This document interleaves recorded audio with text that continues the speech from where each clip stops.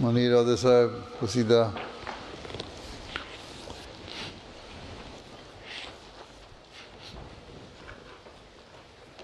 السلام الله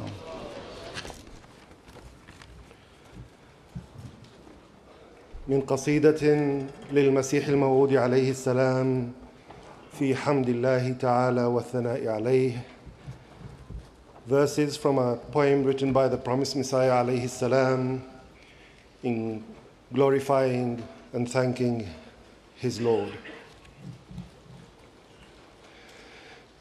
بك الحول يا قيوم يا منبع الهدى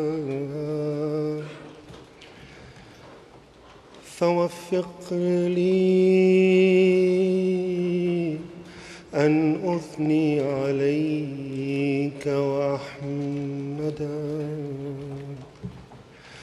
تتوب على عبد يتوب تندما وتنجي غريقا في الضلالة مفسدا. كبير المعاصي عند عفوك تافه. فما لك في عبد ألم ترددا تحيط بكنه الكائنات وسرها وتعلم منهاج السوى ومحردا. ونحن ونحن عبادك يا إلهي وملجئي نخر أمامك خشية وتعبدا. فسبحان فسبحان من خلق الخلائق كلها وجعل كشيء واحد متبددا. غيور يبيد المجرمين بسخطه. غفور ينجي التائبين من الردى. فلا تأمنا من سخطه عند رحمه ولا تيأسا من رحمه إن تشددا. وإن شاء يبلو بالشدائد خلقه وإن شاء يعطيهم طريقا ومتلدا. وحيد وحيد فريد لا شريك لذاته. قوي علي في الكمال توحدا.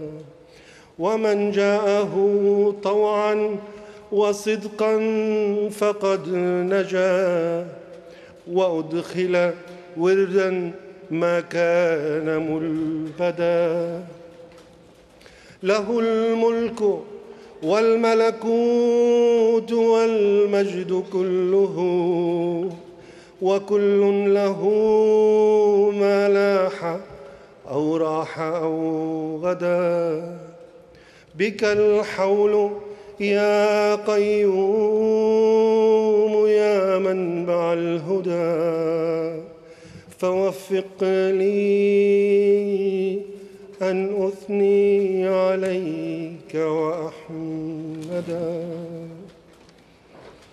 The English translation of these verses as follows All power is yours, O self subsisting and all sustaining one. O source of guidance, enable me to extol and praise you. You accept the repentance of the servant who repents with sincere remorse, and you save the one who is corrupt, drowning in misguidance. The greatest of sins is, in, is insignificant in comparison to your forgiveness. So, what will be the fate of the one who has committed a mistake while in a state of hesitation? You encompass the essence and the secrets of all being, while being fully aware of the paths of the upright and the misguided. We are your servants, O my God and refuge. We bow before you in fear and devotion. So glory be to him who created all creatures and made them, though dispersed to function as one cohesive entity. Protective of his glory, he destroys the criminals with his wrath. Forgiving, he re- rescues the repentant from ruin. Therefore, do not feel secure from his wrath amidst, amidst his mercy. Not lose hope in his mercy when he tries you. If he wills, he tests the creation with trials, and if he wills, bestows upon them both new and familiar, familiar blessings. Singular and unique, his essence knows no equal. Powerful and exalted, he stands alone in perfection. Whoever approaches him with willingness and sincerity finds salvation and is brought to a place of quenching thirst after enduring oppression. To him belongs the dominion, sovereignty, and all majesty. Everything that manifests, fades, or emerges in, under his authority.